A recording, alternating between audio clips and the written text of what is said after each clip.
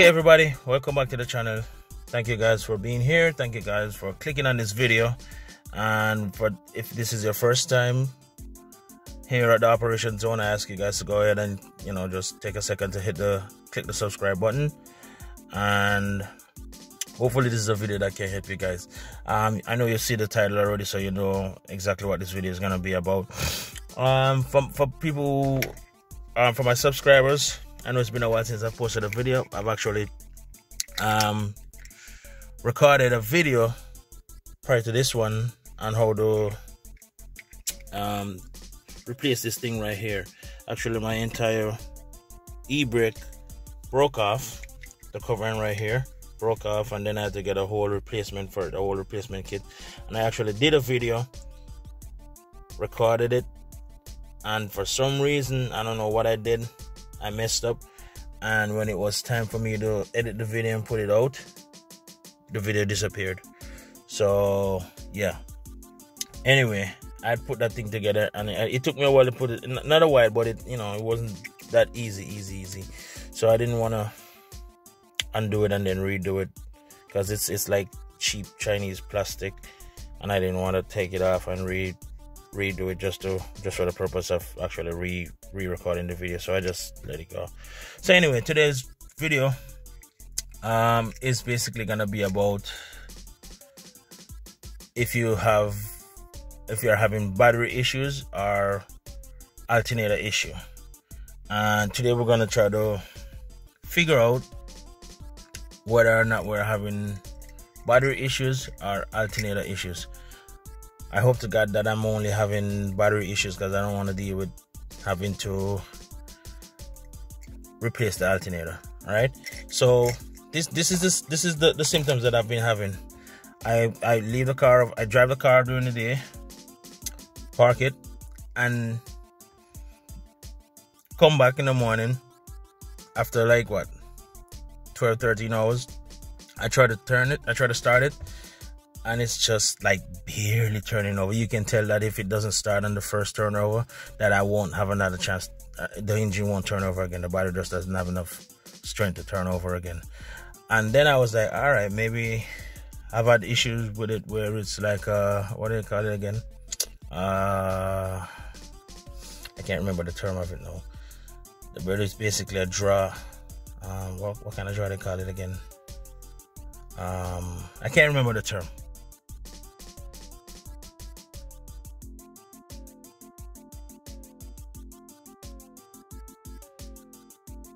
It's, it's a situation where you so when you turn off your car, close it down, take out your key, lock it up.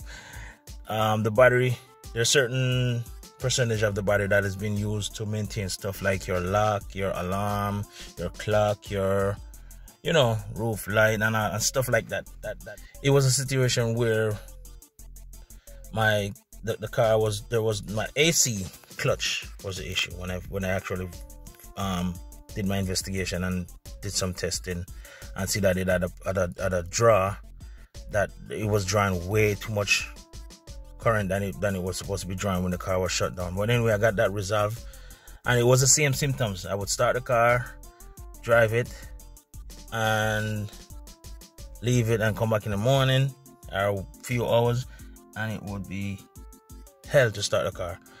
This time, however, the difference though is um, when I had the the the the, the draw right? When when I when it was the, the, the time when it was the AC clutch, the only difference with then and now is then the battery would charge up fully. Like if I if the battery is dead and I start it somehow, and then I drive it, if I drive it for an hour or so, and then I come back in the garage, switch the car off, start it again, it would start up perfectly strong and all of that. So you can tell that the alternator was charging and the battery was getting charged. But for some reason it would just drain. You know what i mean? So this time however no matter how much i drive the car i just drove the car literally for like two hours and i came home shut it off and then instantly tried to start it again. And nothing. It's the same symptoms just uh, uh, uh, and then it you know it get like one crank. You can tell that it's not gonna crank again. So I'm assuming it's the alternator, which I hope to God it's not, or sometimes it can be it's either the alternator, the battery, or corrosion on the battery. So we so just just so you guys can have an idea of what I'm talking about, so you can you know come um compare to your symptom if you are having symptoms. So this is what it sounds like when I'm I just came in um like 30 minutes ago and I'm gonna try to start it now so you can you can hear what it's like. So you see, it, it, it turns over, but you can tell that it didn't really want to turn over. Okay. So I'm, I'm just gonna shut it back off. I'm gonna pop the hood, and then I'm gonna see what's going on under there. All right, I'm gonna. I got my voltage meter. That's the first thing I'm gonna do. I'm gonna get my voltmeter and see if it's an issue with the battery. If the battery is drained, it's just not. It just doesn't have enough voltage. The battery it should have at least 12.456. You know, it's gonna bounce somewhere up there, uh, uh, up there, um, volts on the meter. That's the reading you should get up above 12. You know, it depends on what kind of vehicle you got and how much um things that you got running while while while while the car is shut off. Maybe you might go down to eleven point something, but nine nine whatever whatever, but it shouldn't be no lower than that. So I'm gonna go pop the hood and stick my stick the poles on it, the terminals on it, and the terminals. I mean the the, the battery, the, my tester on the the terminals and see what the deal is. All right.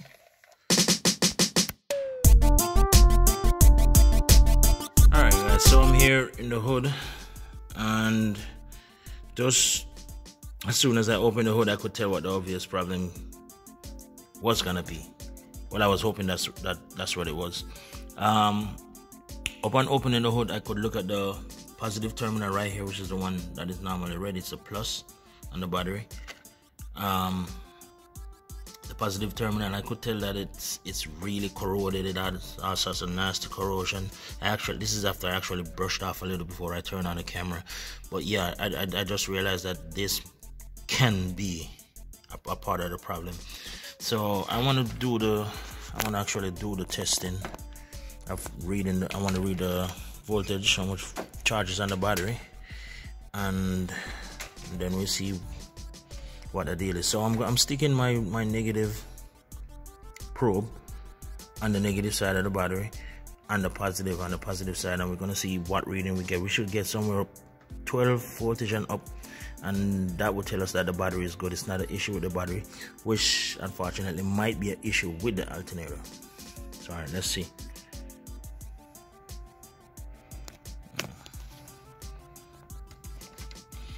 kind of hard for me though. Not work. I don't, I don't have someone right now. So I'm, I'm, trying to hold my phone in my hand and do this at the same time. Alright, let me try again. And I can't get any reading because. Hold on. Okay. Let me try to hold it.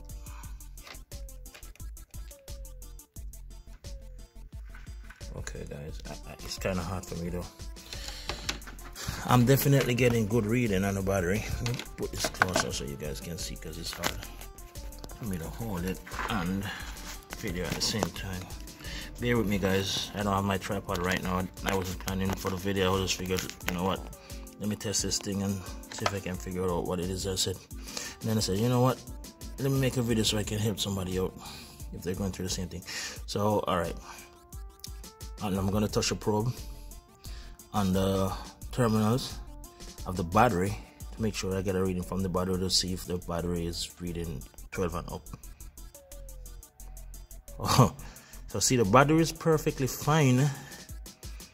The battery has enough voltage. The battery definitely has more than 12 volts of it's reading more than 12 voltage. So that right there is telling me that it has to be something other than the battery. I mean, actually, I take that back. It doesn't have to be something other than the battery because sometimes the battery might have enough volt, might have enough enough voltage, but it doesn't have enough cranking power, cranking voltage, or cranking amps, I think they call it. so my next step is going to be to disconnect the terminal clean up the terminals and see if it's an issue of the corrosion just blocking the, the, the flow of the voltage. And I, I, got a I got a good feeling that that's what it might be though because the battery is 12 volts. That means it should be charging. Um, once I get the terminal off and clean it up and I'll, I'll do it I throw my um, tester back on the the, the, the, the, the, the cables themselves the terminals themselves just to and then start the car and just to make sure that I'm getting enough voltage from the alternator. Over there just the alternator right here guys. Um so I want to make sure that it's not the alternator. I'm gonna do that and then I'm also but I'm gonna um, clean up the terminals and hopefully that should do the trick. All right see you on the next scene. Okay guys so I just went to go to grab my toolbox and realize I do not have my toolbox at this moment. So this is the best that I have that I could find. Um, hopefully this is enough for me to you know yeah take this remove the terminal clean it up. Um, I'm gonna put the camera down and just try to take it off. Give me a second bear with me guys. So actually want to take out both sides of this thing this is really bad, guys. You can look at it. Look at the dust. Look at all the, the, the, the corrosion. This will definitely block the flow of um, voltage. So I'm just gonna clean this up. I have a little piece of sandpaper. Normally you need a little wire brush to clean it up, but I don't have a wire brush right now because as I said, I can't access my tools. I'm just gonna clean it up with a whole toothbrush or something and get some lubrication on it and all of that. Give me a second let me clean this up and then we go test it to see if the alternator is actually charging. And then we go test it to see if we get a better crank out of it out of the battery itself. All right? A second. I got the terminal loose I got it off. Um trying to clean this thing up some what so I can get a better contact I'm using just a little piece of sandpaper that I found. I'm clean the terminal up. I'm just trying to video this so you guys can get an understanding of how you should do it.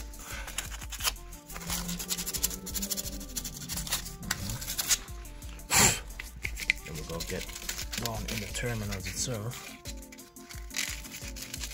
That's it guys, I'm using my one hand to do this, so just bear with me.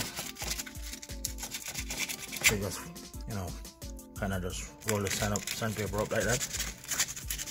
And try to clean it out as best as possible.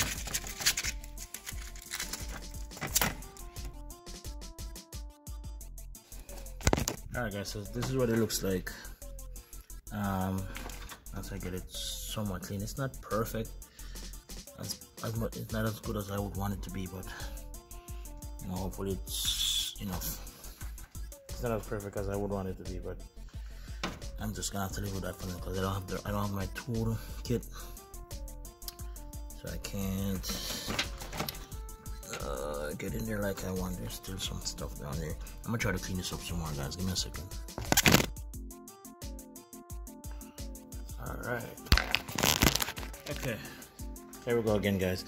So I got it somewhat decent. It's not perfect. It's not great not as good as I would want to clean it up as, as it would be if I use the, the right stuff which would be a, like a little wire brush that I have but I can't access that right now so it is what it is hopefully this isn't enough to make a difference so guys normally when you buy a battery you get a you can buy a little um, pack of, of oil like not, not, oil but um, grease for you to you know oil the terminal.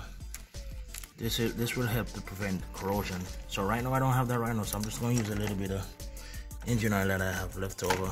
Just gonna put some engine oil in there just to see if we can you know prevent it or delay the whole corrosion process again.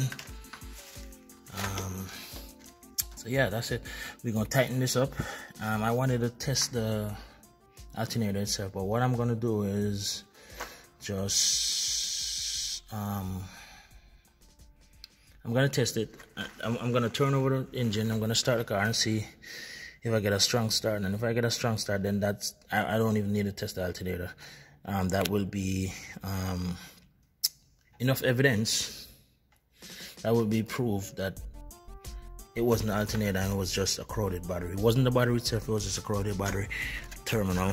Um, this needs to be cleaned up too. The, the, the, the negative terminal needs to be cleaned up, but it's kind of hard to use the little vice grip that I have to get this nut to, to loosen the terminal for the negative side. So hopefully the positive side being cleaned up is enough for it to make a difference all right guys so i'm gonna go inside i'm gonna tighten this back and then i'm gonna go inside and see what the deal is. Me a second let me tighten this back up.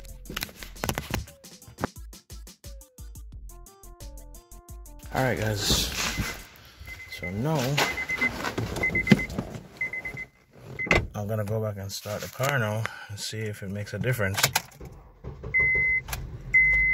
that definitely sounded a little stronger, but I don't know how how much stronger it sounded. I'm gonna let it. I'm gonna rev it up and let the alternator. As a matter of fact, guys, while it's idling, let me go throw the tester on it and see how much voltage we're getting from the alternator.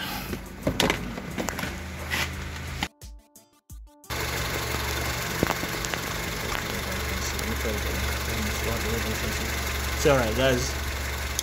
This is me touching the, the cables.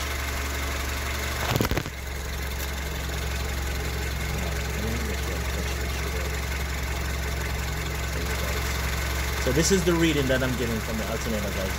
14.425 and that is perfect. That is exactly where it should be charging at. If I come to the battery now, I should be getting,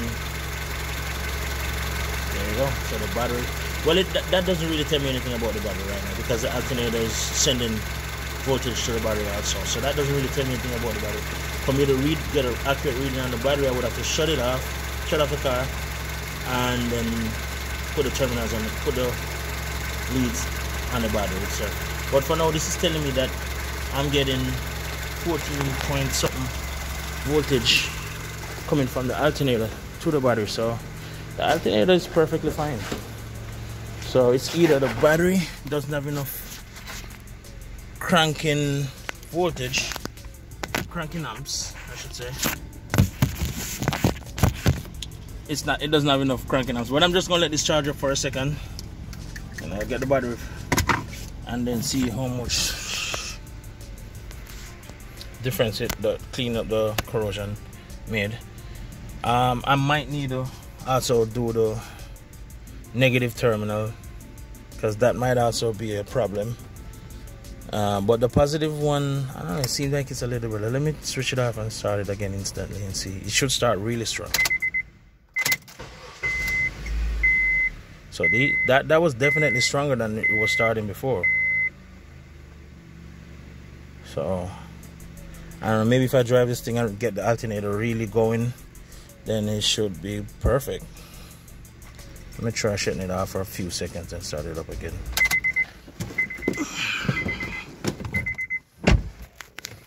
Let's try it.